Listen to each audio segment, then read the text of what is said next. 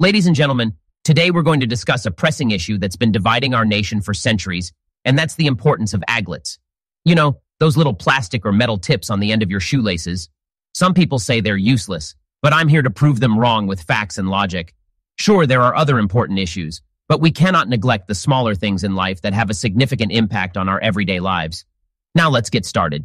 First, let me present you with fact number one. Aglets make it easier to lace up your shoes.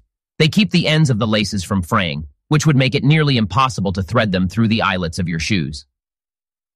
Fact number two. Aglets save you time. Imagine having to deal with frayed shoelaces every morning. The seconds you waste fumbling with them add up over time, and you could be using that time to be productive or spend time with your family. And finally, fact number three. Aglets are a symbol of civilization. Humans have been using aglets for centuries to prevent the unraveling of rope and string. It's a sign of our ingenuity and desire to improve the objects in our lives. To dismiss aglets is to dismiss human progress itself. You can't argue with facts and logic. It's important to recognize the small things that improve our lives, even if they seem trivial at first glance.